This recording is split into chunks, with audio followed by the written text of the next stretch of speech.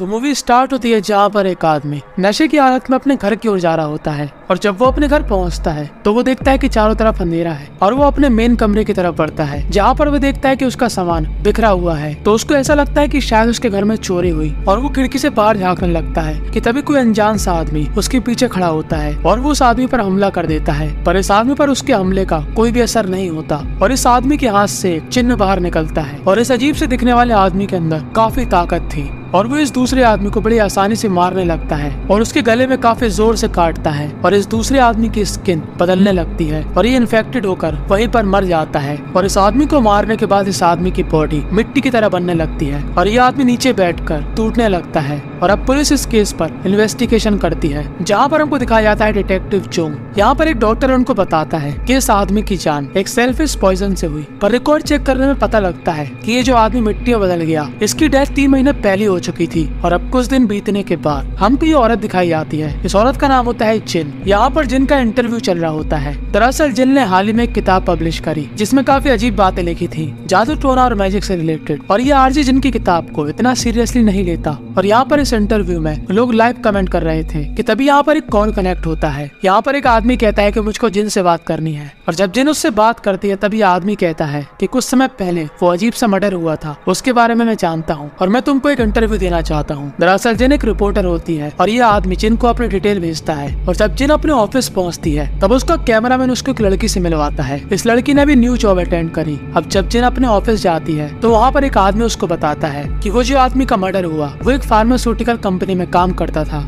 इस आदमी का नाम होता है किम और वो जिन को बताता है कि जिस आदमी ने इसका मर्डर किया, वो खुद भी तीन महीने पहले ही मर चुका था। तभी वहाँ पर डिटेक्टिव जोंग आता है। दरअसल डिटेक्टिव जोंग जिन का हस्बैंड था और वो साफ़ मना करता है जिन से कि तुम उस आदमी का इंटरव्यू नहीं लोगी, पर जिन उसकी बात को टाल देती है। और जूम के जाने के बाद किम उसको एक वीडियो दिखाता है। इस लड़की का नाम होता है सोजिंग जिन पहले भी इस लड़की से मिल चुकी है और जिन की बुक में इसी के बारे में लिखा है कि तभी हमको एक सीन दिखाया जाता है कि जहाँ पर जिन एक बार में जाती है और वो कुछ पीने का ऑर्डर करती है कि तभी एक आदमी उस पर हमला कर देता है और तभी वहाँ पर सोजिंग आकर उसको बचा लेती है। पर ये सिर्फ़ जिन का एक सपना था। असल में उसके साथ ऐसा कुछ भी नहीं हुआ था। और अब जिन उसी आदमी का इंटरव्यू लेने के लिए तैयारी करती है और यहाँ पर जुम अपनी वाइफ के लिए काफ़ी टाइट सिक्योरिटी रखता है। और जब वो आदमी आता है तो सभी लोग एकदम सतर्क हो जाते हैं। ये आदमी एकदम शांत था और इस आदमी का नाम था पार्क, जहाँ पर जुम चेक करता है कि इस आदमी का कोई भी क्रिमिनल रिकॉर्ड नहीं है और ये आदमी तीन महीने से गुमशुदा है।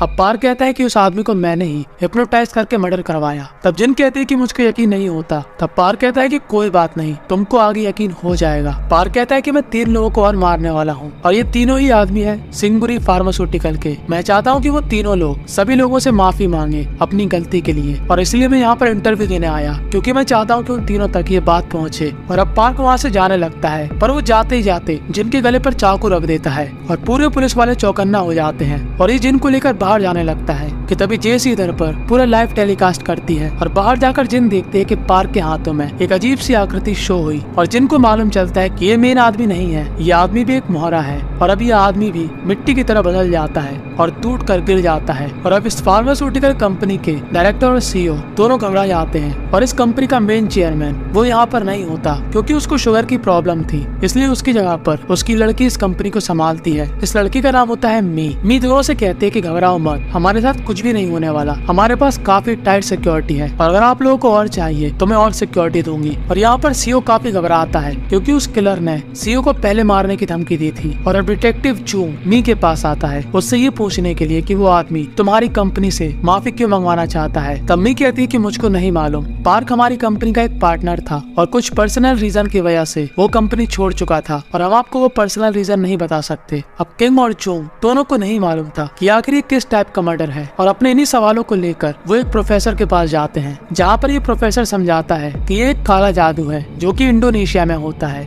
इस जादू से तुम किसी की भी बॉडी को कंट्रोल कर सकते हो, एक मरे हुए इंसान को भी। और जिन पर भी ये जादू हुआ होगा, उनके हाथ पे ये निशान होगा। और जो इस तरह का जादू करते हैं, उनको कहते हैं शेमन। और इन सभी बॉडी को कंट्रोल करने वाला एक शेमन है। और अगर हमने उसको ढूंढ कर रोक दिया तो सब कुछ अपने आप ही बंद हो जाएगा। शेमन हर एक आदमी को एक टास्क देता है, और उस टास्क को पूरा करने के बाद वो आज़ाद हो जाता है और मिट्टी बनकर टूट जाता है। और जब जिन अपने घर पहुँचती है, तब उससे मिलने जैसी आती है, जैसी उसे पूछती है कि उस केस का क्या हुआ। और जैसा कि आपने अपने बुक में लिखा था सोजिन के बारे में, क्या वो सच है? तब जिन बोलती है हाँ सोजिन मेरी फैमिली की तरह है। और वो कभी भी मेरे पास आ सकती है। और जिन का एक साथी, जिसका नाम था किम, वो एक आदमी के पास आया था। उस फार्मास्यूटिकल कंपनी में क्या हुआ था, उसके बारे में पता करने। दरअसल ये आदमी उसके बारे में सब कुछ जानता था और इसने कोई और दूसरा गलत काम किया था। इसकी वजह से ये जेल में था, पर किम को उससे कोई मतलब नहीं। किम को बस ये जानना था कि आखिर उस फार्मास्यूटिकल कंपनी में क्या हुआ था। तब ये आदमी बताता है कि वो फार्मास्यूटिकल कंपनी एक सीक्रेट दवाई बना रही थी और उस दवाई को टेस्ट करने के लिए ऐसे लोगों को चुना था जो कि काफ़ी गरीब थे। और उनको काफ़ी अच्छा पैसा देकर उनके ऊपर एक्सपेरिमेंट किया। और हर एक आदमी की हुडी में उसका नंबर और नाम लिखा होता था। और मैं ही वो आदमी था जो कि उनको इंजेक्शन देता था। मुझको जैसा कहा जाता था, मैं वैसा ही करता था। तब किम पूछता है, तुमने कितने लोगों को वो दवाई दी? तभी आदमी गिन के बताता है, एक, दो, तीन, चार, पाँच, छह, सात, आठ, नौ, दस। तब किम को लगता है कि वो सिर्फ़ दस लोग हैं। तब ये आदमी बताता है कि वहाँ पर दस ग्रुप थे और हर एक ग्रुप में दस लोग थे। यानी कि टोटल मिलाकर सौ लोगों पर ये एक्सपेरिमेंट किया गया। और ये बात सुनकर किम एकदम चौंक जाता है। और पार्क ने कहा था कि आज के दिन ही उस फार्मास्यूटिकल का सीईओ मरेगा।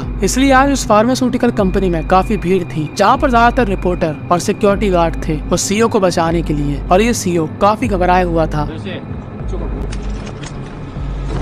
कि काफ़ी हुडी पहने लोग इस कंपनी के सामने आ गए और काफ़ी तेजाई से इस फार्मास्यूटिकल कंपनी के अंदर जाने लगे। ये सभी लोग काफ़ी ताकतवर थे और पुलिस इनको नहीं रोक पा रही थी। और यहाँ की सिक्योरिटी दिख रहा था जूम और यहाँ का डायरेक्टर प्रेशर डालता है कि प्लीज़ इनको शूट करो और पुलिस वालों को मजबूरन इनको शूट करना पड़ता है। पर इन पर गोली का कोई भी असर नहीं हो रहा था। गोली इन पर गलती थी, ये नीचे गिरते थे, पर फिर से उठ के आगे बढ़ने लगते थे और जूम इन दोनों को बचाने के लिए अपनी गाड़ी में ले जाता है। ये सभी मुर्दे छत से गिर रहे थे और तब भी ये चल फिर रहे थे और ये सभी मुर्दे वहाँ पर खड़े टैक्सी ले लेते हैं और जूम की गाड़ी का पीछा करने लगते हैं और यहाँ पर जिन भी इनका पीछा करने लगती है और ये सभी टैक्सियाँ जूम की गाड़ी को घेर लेती है और इन गाड़ियों से आदमी निकलकर इस गाड़ी के अंदर जाने की जगह बनाने लगते हैं। जूम अपनी पूरी कोशिश करता है इनको रोकने के लिए, पर एक जगह पर जाकर जूम की गाड़ी खराब हो जाती है और ये सभी लोग इस आदमी को बाहर ले जाते हैं और उस पर काफ़ी ज़ोर से हमला करते हैं और इस आदमी की हालत काफ़ी खराब हो जाती है और ये देखकर डायरेक्टर एकदम सहम जाता है। ये मुर्दे इस डायरेक्टर को नहीं मारते, क्योंकि डायरेक्टर के मरने का समय आज नहीं था और अब अपना काम करने के बाद ये सभी लोग मिट्टी बनकर टूट जाते हैं और अपनी मौत को काफ़ी करीब से देखने के बाद इस डायरेक्टर की आँखें खुल जाती हैं और वो अपनी कंपनी के चेयरमैन के पास जाता है और उसे कहता है कि हमको सभी से माफ़ी मांगनी चाहिए, क्योंकि हमारी वजह से उन गरीब लोगों की जान गई। पर ये चेयरमैन कहता है कि मुझको उससे कोई भी मतलब नहीं है। जो भी डिसीज़न लेगी, मेरी बेटी लेगी। और तभी वहाँ पर उसकी बेटी आती है। उसको कोई भी फ़र्क नहीं पड़ता कि कौन मर रहा और कौन क्या कर रहा। और यहाँ पर दूसरी तरफ़ जिन का हस्बैंड जूंग भी इन्फेक्टेड हो गया था। और अब जूंग की हालत काफ़ी खराब थी। और किम जिस आदमी से सवाल पूछ रहा था, उसका नाम था जेमिन जेमिन बताता है कि पार्क भी इन सभी सौ लोगों को मैनेज कर रहा था। और जब ये सभी लोग इन्फेक्टेड होकर मर गए थे, उसके कुछ दिनों बाद मेरे पास एक आदमी आया। वो आदमी कहने लगा कि उस फार्मास्यूटिकल कंपनी में मेरा एक भाई काम करता था। जेमिन बताता है कि उस आदमी की लैंग्वेज समझना काफ़ी कठिन था, इसलिए मैंने उसको और जानकारी देने के लिए पार्क का नंबर दे दिया। किम पूछता है कि उस आदमी की ड्रेस कैसी थी। तब जेमिन कहता है कि उस आदमी की ड्रेस काफ़ी अजीब सी थी, और ऐसा लग रहा था कि वो एक इंडोनेशियन है। और किम ये बात बताता है अपनी टीम और जिन को, और तभी जिनको समझ में आता है कि वो आदमी जेमिन था। वही सभी लोगों को कंट्रोल कर रहा। जेमिन से पार्क का नंबर लेने के बाद उसने पार्क को मार कर अपने वश में किया और उससे इंटरव्यू दिलवाया। और जिन इस बारे में और जानने के लिए उसी जगह पर जाती है, जहाँ पर इन सभी पर एक्सपेरिमेंट किया गया था। और यहाँ पर बाइक पर बैठी एक लड़की, जिनका पीछा कर रही थी। और यहाँ पर इस कंपनी का डायरेक्टर काफ़ी उदास था और उसको काफ़ी गिल्टी फील हो रहा था। और जब जिन उस ऑफ़िस के अंदर जाती है, तब उसको वहाँ पर एक आकृति दिखती है और थोड़ा आगे बढ़ने पर कोई उन पर हमला कर देता है। और तभी उसको बचाने के लिए एक लड़की आती है। ये लड़की कोई और नहीं, दरअसल सोजिन थी, जिसके बारे में जिन ने अपनी किताब में लिखा था। सोजिन को मालूम था कि ऐसे मुर्दों को कैसे मारते हैं और वो अपनी ताकत का इस्तेमाल करके जिन और उसके साथियों को बचा लेती है। जिन सोजिंग से पूछती है कि तुम इतने टाइम से कहाँ पर थी, तब सोजिंग बताती कि मैं जापान में थी और बुरी आत्मा को वश में करने का मैजिक सीख रही थी और तभी जिन का एक साथी आकर उसको बताता है कि उस फार्मास्यूटिकल कंपनी के डायरेक्टर ने सुसाइड कर लिया और उसके सुसाइड पर मी को बिल्कुल भी बुरा नहीं लगता और अब वो डिसाइड करते कि वो अपने पापा से माफ़ी मंगवाएगी क्योंकि उसको अपनी कंपनी की इमेज साफ़ करनी थी और जब ये बात जिनको मालूम चलती है कि उस फार्मास्यूटिकल कंपनी का चेयरमैन माफ़ी मांग रहा, तब वो काफ़ी खुश होती है। सोजन बताते कि सब कुछ शेमन कर रहा और हम लोग कितने भी आदमियों को मार ले, कुछ नहीं होने वाला। हमको मारना पड़ेगा शेमन को। तब जिन बोलती है कि यहाँ पर शेमन नहीं है। तब सोजिंग बोलती है जिन से कि तुम उस चेयरमैन की अपोलॉजी को टेलीकास्ट करो और मैं तुम्हारे साथियों के साथ दोबारा से इस ऑफ़िस के अंदर जाते हैं। और जब सोजिंग अंदर पहुँचती है, तब उसको एक आकृति दिखती है और जैसी वो उस आकृति को साफ़ कर देती है, हमको दिखता है की वो जगह काफ़ी बड़ी है। ये सिर्फ़ एक छलावा था और अब ये लोग शेमन को ढूँढने के लिए आगे बढ़ते हैं। और दूसरी तरफ़ जिन चेयरमैन की अपोलॉजी को रिकॉर्ड कर रही थी और कैमरा पर थी जेसी अब यहाँ पर जिन नोटिस करती है कि जैसा कि मी बोल रही, वैसा ही उसके फादर बोल रहे। वो सिर्फ़ ऐसे बोलने के लिए बोल रहे वो सिर्फ़ अपनी कंपनी के इमेज साफ़ करने के लिए माफ़ी मांग रहे हैं। उनको सच में गिल्टी फील नहीं हो रहा और जिन इस अपोलॉजी को टेलीकास्ट करने से मना कर देती है। तब मी बोलती है, तुमको उससे क्या मतलब? तुम अपना काम करो। और यहाँ पर इन सभी को एक रूम मिलता है और जैसे ही एक आदमी उस रूम को खोलता है, वहाँ से एक रोशनी निकलती है और ये सभी लोग नीचे गिर जाते हैं और दूसरी तरफ़ ये चेयरमैन सही से माफ़ी नहीं मांग रहा था। उसको बिल्कुल भी गिल्टी फील नहीं हो रहा था और यहाँ पर जिनका साथी किम उन लोगों के बारे में चेक कर रहा था, जिनके ऊपर एक्सपेरिमेंट हुआ था कि तभी किम वहाँ पर देखता है जेसी की फ़ोटो जिन की नई कैमरामैन, और वो उसकी डिटेल जिन को भेजता है, और जिन जेसी की सच्चाई जानकर हैरान हो जाती है, क्योंकि जेसी भी एक मुर्दा थी, और शेमन उसको कंट्रोल कर रहा, और तभी जेसी के हाथों का निशान शो होने लगता है, और अब वो इस चेयरमैन को मारने के लिए आगे बढ़ती है, क्योंकि ये चेयरमैन सही से माफ़ी नहीं मांग रहा था, और जिस कमरे के अंदर से रोशनी निकली थी, उस कमरे के अंदर होता है शेमन। जी हाँ यही आदमी है शेमन। जो कि सबको कंट्रोल कर रहा और उसके आसपास काला घेरा होता है और तभी यहाँ पर इनके ऊपर अटैक हो जाता है और सोजिंग अपनी शक्तियों से इन मुर्दों को रोकने लगती है और मी अपने पापा को लेकर वहाँ से भाग जाती है, पर जैसी उनका पीछा नहीं छोड़ती और सभी बॉडी को चकमा देकर उनके कमरे के अंदर घुस जाती है और ये चेयरमैन पूरी तरीके ऐसी डर जाता है। और यहाँ पर सोजिंग शेमन के पास जाती है। पर उसको शेमन के पास जाने में काफ़ी प्रॉब्लम हो रही थी, क्योंकि यहाँ पर फैली आत्माएँ, उसके पैर को पकड़ी थी। पर वो काफ़ी ताकत लगाकर शेमन की तरफ़ बढ़ती है और यहाँ पर जेसी इस चेयरमैन को छूने ही वाली होती है, इतने में ही सोजिंग उस शेमन को रोक देती है और जेसी वहीं पर मिट्टी बनकर टूट जाती है और इस चेयरमैन को कुछ भी नहीं होता। पर सोजिंग को ये महसूस होता है कि शेमन के अंदर काफ़ी दुख है। पर सोजिंग को शेमन का दुख महसूस होता है कि उसके साथ काफ़ी बुरा हुआ।